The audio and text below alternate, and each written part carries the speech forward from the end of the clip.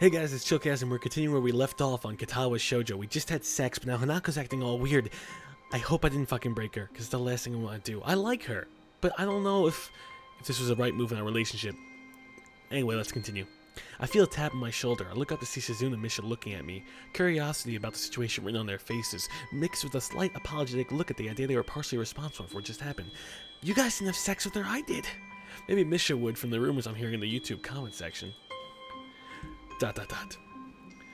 Hicchan, if, if we can help at all, I just I just shake my head. This isn't a matter for them, and from Shizune's expression and the tone of Misha's voice, I think they know the same thing. Misha, you fucked up, and it's a I can't I hate the face you give because it's a cute dog face, and I'm like, oh Misha, and then she's like, and I can't do that.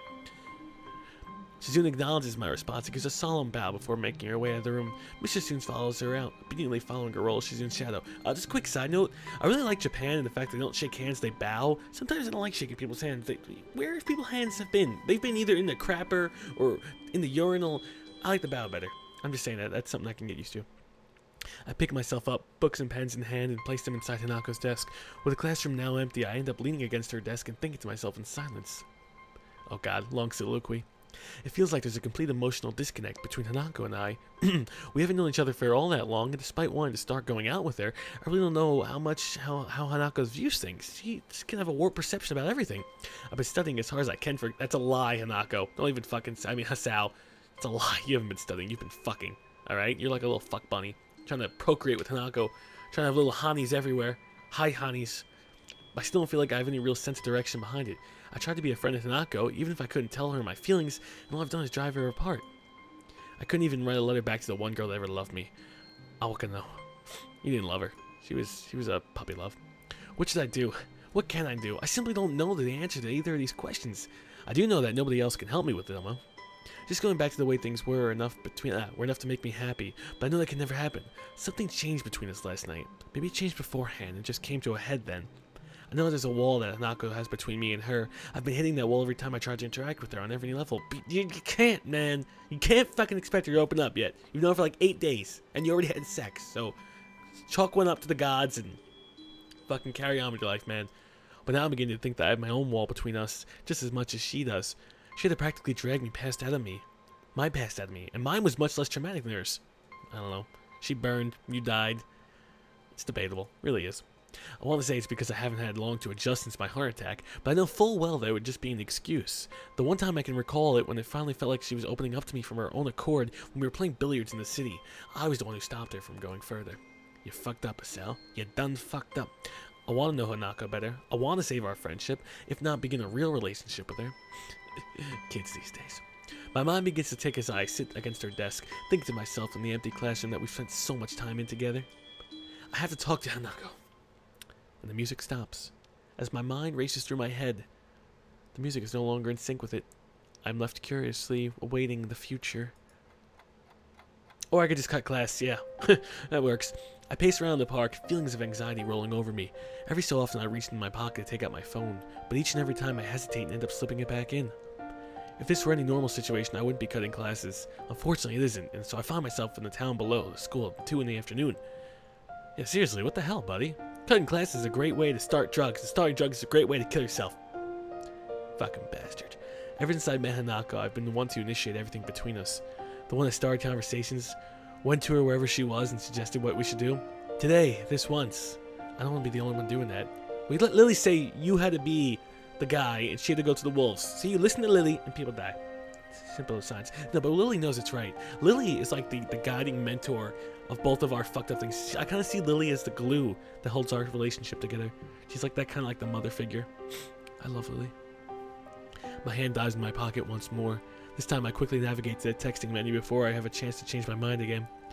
Hanako, if you want to talk, I'll be at the park in the town for a while. Fighting a last measure of doubt, I thumb in my message to Hanako and press the button to send it. And now I wait.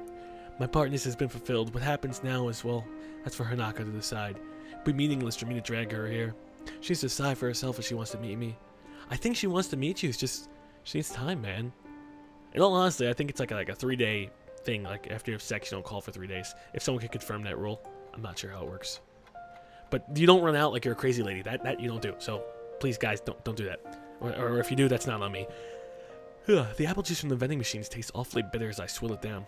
My grip on it can be my grip on the can has caused it to dent slightly in the middle. Asao's got the muscles. I shouldn't be this tense, but it's probably inevitable. Hanako is dear to me. What happened in the last couple of days has put a lot of pressure on both of us. The idea of losing all the progress we've made is coming closer to one another and losing our friendship as a whole. Now that, that's deeply unsettling. But even then, I still don't know really how close we are. We may have had sex, but before that, all I knew is we were friends. Maybe we were more than that, but if so, I never realized it. Because you never talked to her. You... God, you should have put an end to it. I know, I don't know. That's like just the mind thinking. Like, you know, you see a woman, she's undressing herself, and, you know, there she is in her nude. And then you go up to her, like, all right, well, I guess this is my time to use my stuff that I have. Sorry, I thought I heard something banging on the door. So, yeah, my stuff that I have. But you can't do that. You know, you gotta work it out. If this was the first time, maybe like, no, I'm not ready. Hanako, I'm ready to learn about you and your past. Maybe that's why I feel so uneasy right now, though. I don't understand Hanako, despite all the time we spent together. The mains are ticking by, and I still have no idea whether she'll show up. Holy shit! okay, alright, cool. She showed up. Hey, Sal? I pause for a moment, almost not believing that I'm hearing the voice I'm hearing. I drop the can and stand up with a start. Aww. Hanako? We look at each other for a few seconds. Before Hanako becomes too embarrassed to maintain eye contact and begins to nervously fiddle with the roughly cut lock of her hair covering the side of her face. when I went to see that Hanako in the room by myself after her breakdown, I had no idea what to say. That was fine then. All either of us wanted was each other's presence. Now though, now I feel like I need to talk to her directly. Yeah, you gotta be the man. You gotta wear the pants, buddy. I want to break down this wall between us before it forces us apart for good. Hana Hanako, I... What we did that night, how, how should I interpret that? Hanako stops playing the music, and with her hair, and she looks at me.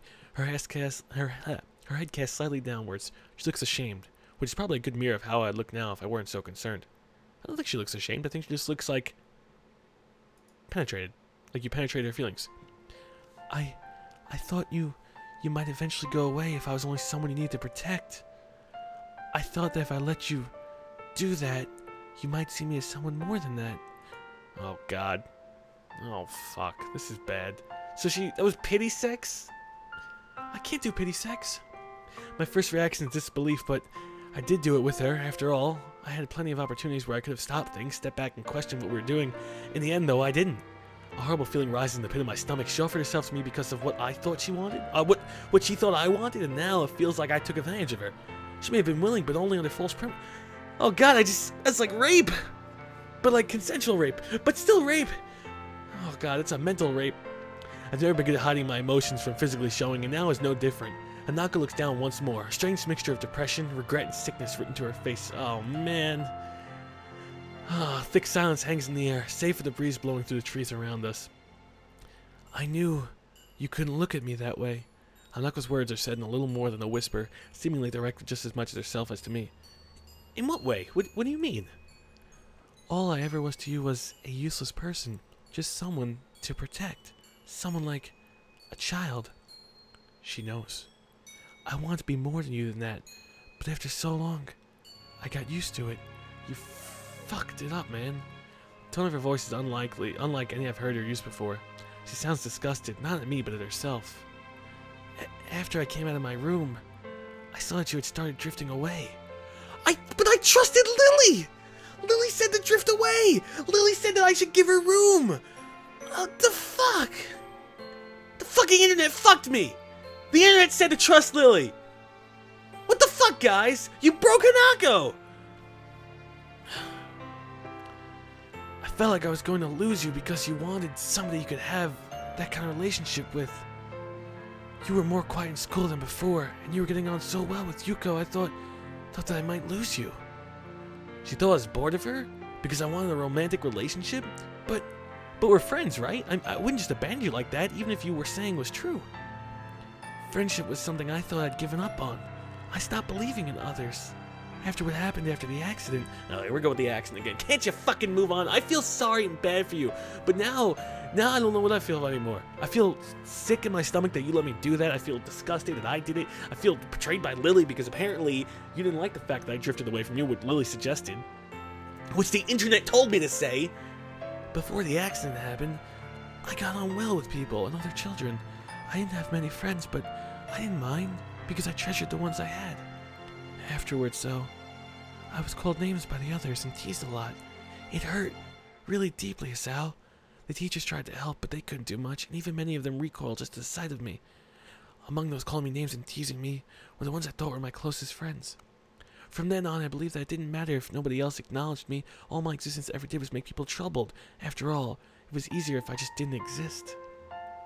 But after meeting Lily, and then you, I, I tried, but I couldn't make myself think that way again.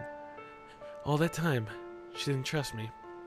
She thought just like everyone else in her life had that I that she was worthless, someone to throw away when she got bored of being with her. that does hurt.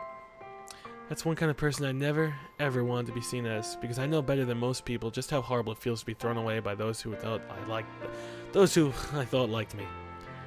Yeah, I know, buddy. I know, Sal. We all, we all deal with that in life, and it sucks when you think friends are friends, but they don't turn to friends. And but you know that's that's part of growing up and moving on, and hopefully you learn from the experience. It just sucks that Anako had had it so tragic where she can never trust anyone ever again. But I understand where she's coming from. It's hard when you have that trust broken. I don't know. It's uh kind of weird. I had someone very close to me in my life just kind of just get up and leave one day. And that, you know, that kind of screwed me up a bit where it's hard to to trust people, I guess. I mean, that's why maybe I look to the internet more because it's it's a place where you can trust someone but at arm's length. You you don't have to see them 24/7. And I guess that's my own personal thing I got to get over. That, you know, I got to stop keeping people at arm's length. But that's I guess that's my own gripe in life. And I guess I can understand what Hanako's saying. And on a personal level, I don't know why I'm telling the internet this. I don't I don't tell people this. Uh, but yeah, that's I guess, you know, it's I understand where she's coming from. And I guess it hurts a bit more knowing that that's what she treated me as. Because I guess that's how I see how sometimes I treat people. You know, I, I feel like they're going to screw me over when maybe they're not trying to. Let's continue with the story. This just took a weird twist. She's cracking for the memories she's bringing up. I feel useless, completely unable to console her. In a strange way, though, I'm almost thankful that she's allowing me to know this. That wall between us is going away, even if it hurts so badly to bring it down. Hanako, if, if you just told me, was I wrong? Of, of course you... Of course she wasn't. Hanako wasn't wrong. It's difficult to force myself to admit this, but I know trying to deny is pointless. To me, and, and to Lily, she was someone we tried to protect. She'd become to me what I'd become to my friends after my heart attack, a broken person. I liked her, possibly even loved her, but I never acted on that precisely because I thought she was so fragile. I mean, I don't look at you that way now. Yeah, well that's not gonna fucking help, man. The cat's out of the bag. I got worried about you after what happened to you in class, and I thought I should try to protect you. When you locked yourself in your room, I, I, got afraid. I thought you were rejecting me, and it forced me to think a lot about different things. I wasn't rejecting you. there she actually spoke in a, a, voice. She blurts out with almost scared tone to her voice, taking me off guard. I knew. She quickly becomes embarrassed by her outburst before cleaning her, clenching her fist and working through what she wants to say in her mind. I would never do that to, to. I would never do that. Not to you. Even though I was scared, even though I tried to push you away, you still tried to get closer to me. I locked myself away because I was just a burden to you, to Lily, to everyone. Every birthday was the same. Everyone doing their best pretending I mattered. Everyone pretending everything was alright. For that one day of the year. I didn't want to exist, but they wouldn't let me. Even after meeting Lily, everything was the same. I was as useless as I've always been, unable to do anything for her or for myself. I didn't want that to be the same to you. Lily and I were completely wrong. From what she said, everything we did for her would have only made her feel worse. Even when I thought I had to write about her was complete misjudgment. Wait, so maybe Lily was right. Oh, that fucking Lily, she knows everything.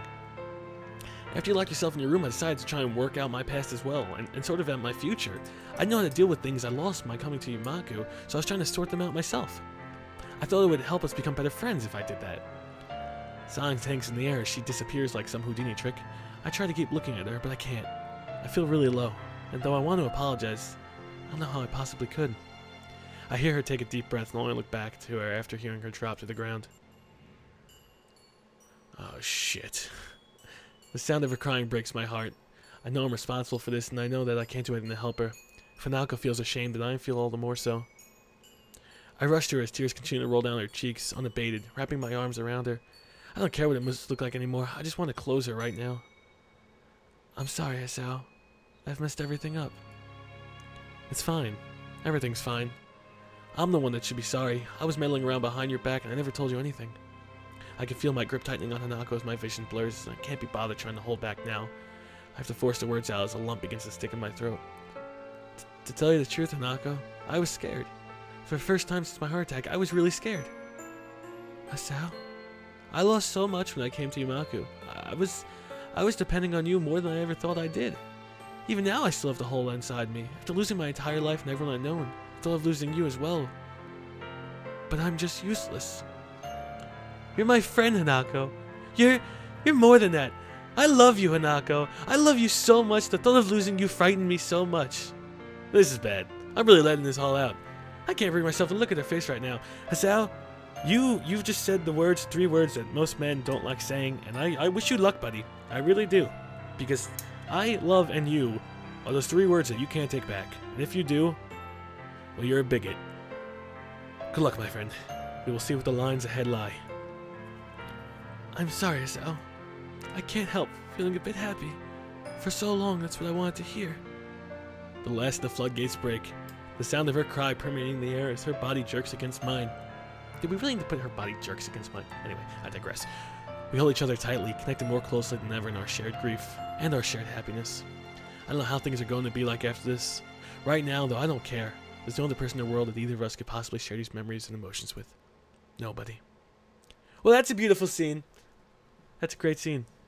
After dropping the third can to a bin next to the bench, I take a seat beside Anako. She puts away the handkerchief I gave her to clean herself up, which really hasn't helped much. Then again, I don't look much more present. I don't. I doubt I look much more presentable than her. Even now, I feel empty and a bit embarrassed for letting my emotions out in public like that. And those three fucking people were watching. And they're two stupid umbrellas. It's not bad sensation. No, I, I feel. I think Hanako feels the same way too. Have you calmed down a bit? That's a really bad thing to ask. Let me tell you something, guys. Never ask a woman if she's ever calmed down a bit. Either one, she's gonna treat you back with two sarcasm, or three, what, one sarcasm, or two, she's gonna fucking jump down your throat. Never, never ask that. It's really, really bad. Just be taken from me. Oh, you, you popped up. Yes, thank you. For a while, we just sit and take our time before talking again to one another. We both need a little time to collect ourselves. The weather is nice at this time. The weather is nice at this time of the year. Yeah, yeah, it is. I close my eyes for a moment, relishing the feeling of the sun's heat and the cool breeze against my face. The weather is really, really nice. You know, I don't really want to go back to classes right now, do you? She shakes her head as she finishes wiping up her eyes with her cuff. The small smile she gives is nice, and a reminder of how earnest it can be. Smiling for other people might be completely normal, everyday thing. For Nako, though, she smiles so rarely and so sincerely that each time she does, I feel a sense of relief and happiness. It's true. Her smile is so, I would say, heartwarming because she never does it, that kind of makes it even more special. Although I still feel bad about the prior scene, especially if she did it for me. I'm sorry for everything. Okay, now she's becoming bipolar. It's okay. I think we've both a bit to be sorry for. I know that I'm too shy. I know you want me to be. I don't think I can. You could change, Hanako. I know that because every time I've known you, all the time I've known you, you've already changed. To be honest, just being able to sit here and talk to you like this means you've changed a lot since we first met. Logic and reasoning, Asao. Didn't think you'd be using it, but you are. But I can't be like that for, for anyone else. I don't have any plans for after school ends either. Nako's confidence begins to slide down like a slippery sweat whale. But I think that now I can finally talk to her as an equal. I can do it because I know that we're just the same in so many ways. Just give yourself time, Hanako.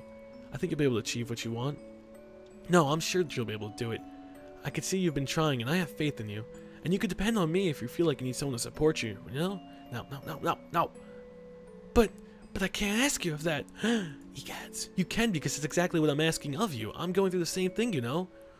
It's called love. I thought it was called being emotionally distraught and being really crippled by feelings. But love is cool. Hanako smiles. Before I get off the bench and dust myself off, she does the same in short measure. I'm kind of hungry. Want to grab something to eat? She nods vigorously. The way she's smiling, the way she's acting, even just the general air she gives off. I feel as if it's the first time I've seen her genuinely happy. We both make our way into the street, walking beside each other. Asao? Yeah? I... I think I don't really understand you. you don't say. I don't think I understand you either, but I believe that's fine. No, that, that works for marriages. We don't know who we are, and sure, that's going to be awesome and great. There's not a single hint of desperate despair in our words. Not understanding each other is only natural. The walls we set up between ourselves couldn't possibly be bro broken down in a single day. But that's fine. As long as we take it day by day and try to understand one another, I think everything will be okay. Look at that, ladies and gentlemen. We made our boy Hisao an optimist. He came in a pessimist, then a realist. Now, he's grown up, my friends. He's an optimist. As we walked in the street, though, Hanako's eyes flicked to my face and back to the street repeatedly. Is something on your mind? You look restless. She slows before stopping completely. When I turn to meet her, she takes a long, deep breath, looking at her, looking at my face intently. This expression, I saw it once before in her room. Uh, once before in her face. Just once when I accidentally surprised her in her room. Ah, it's like the ah, ah face. I, I think I have something I need to give you. You already gave me your chastity belt and virginity. Um, you've given me more than I can ask for, Hanako. You don't need to be evasive about it. What is it? I wanted to give you this for a long time. Long.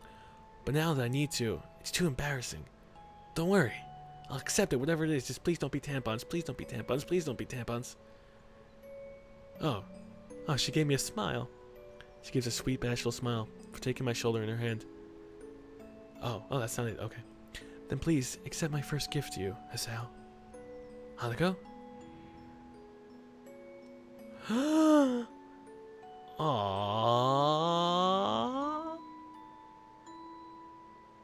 Oh, she looks like she's from Pokemon.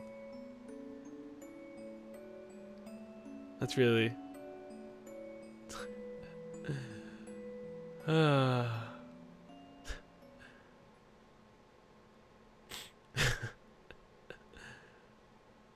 That's Katawa Shoujo, I guess.